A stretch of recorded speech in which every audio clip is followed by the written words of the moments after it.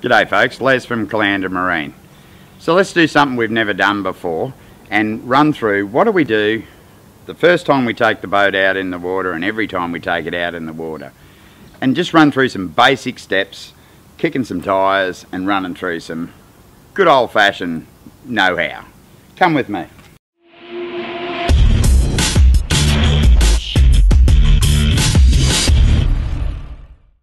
So let's start. We've pulled the boat out of the shed or out of the garage. We've got the motor down because we need to do that to fit in our sheds because they're getting shorter and shorter and the boats are getting bigger and bigger. So first things first, there's no point going to the boat ramp if the boat don't run. So let's start the motor. So what do we do first? We're going to grab our flusher muffs. We're going to hook them on.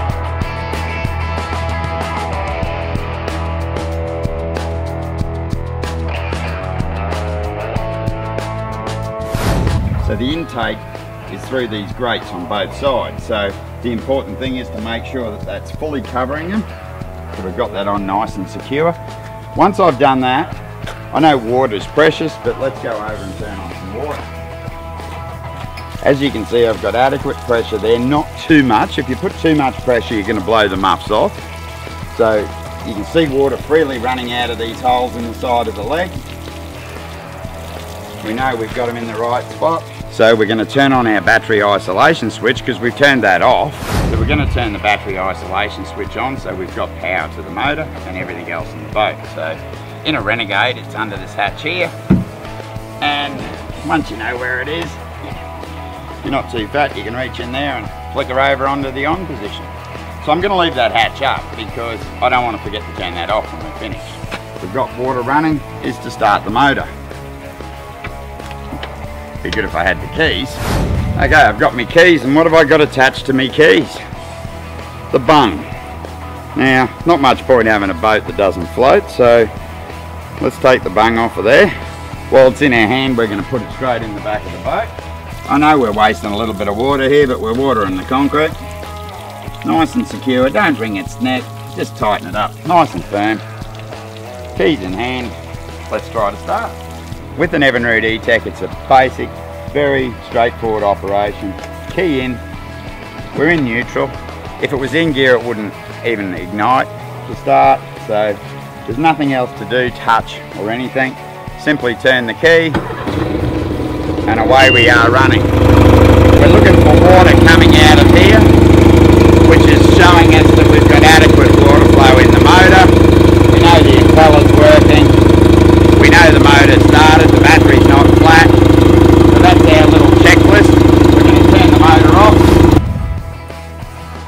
So we've turned the motor off. We're now going to turn the water off.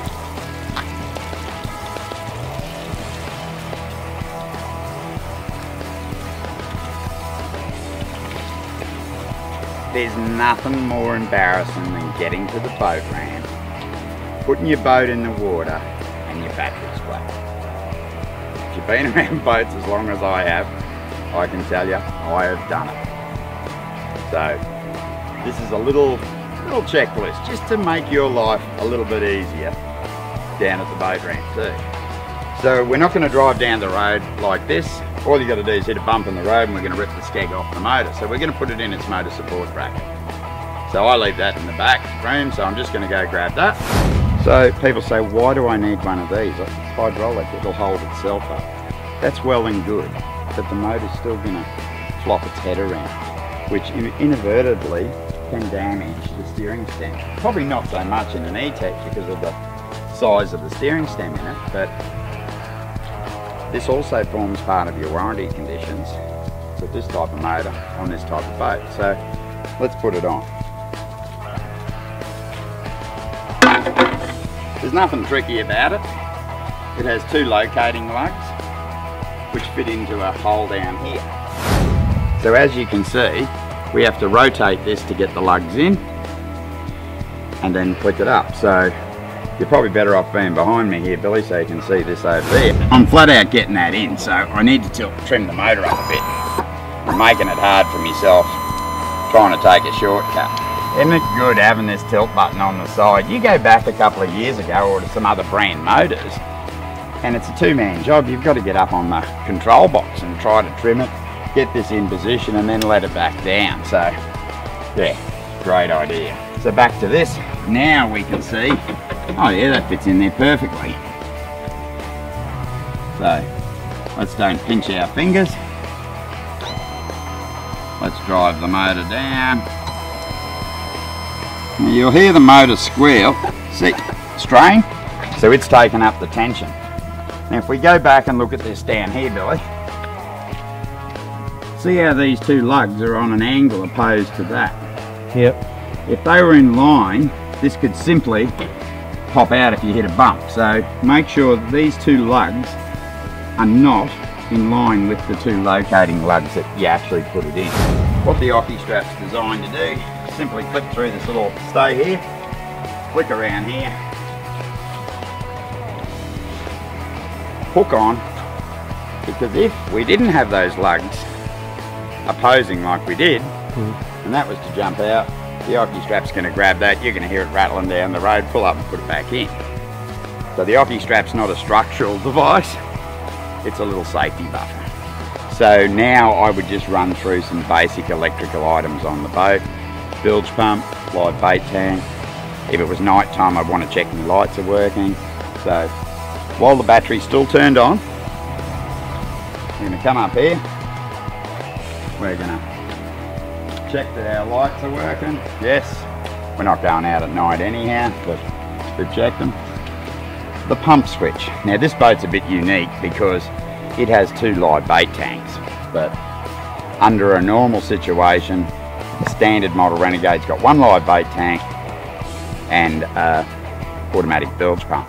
Now how that automatic bilge pump works, it's wired up in two stages. We've got a manual override on the dash which only works if the battery switch is turned on. And then we have the float activated part of the bilge pump is wired directly to the battery. So we're pulled up at a pontoon, the gods just open up and we get three inches of rain in a matter of five minutes. We haven't got the battery switch on, the bilge pump will activate and pump water out of this hole on the side here. So it's a comforting feeling. So we need to check that thing's working. We haven't got water in there. We're not going to test it like that. We're just going to have a listen and we'll hear if the pump's running. So it's hard to pick this noise up on the camera, but I just do the test. That's my live bait tank. That's my bilge pump on this boat. That's my other live bait tank. So everything there's checked off. We know it's all working. So I think we're pretty ready to go to the water A couple of other little things once we hook it on the car. So now we'll turn the battery isolation switch back off because when the boat's travelling down the road again, why do we need electricity running through the boat? Why do we need a power draw? You know, what happens if the battery strap broke, the battery fell on its side, two wires arc together, battery isolation switch. Good point. As you can probably see from there, I couldn't tell if I'd turned that on or off or what.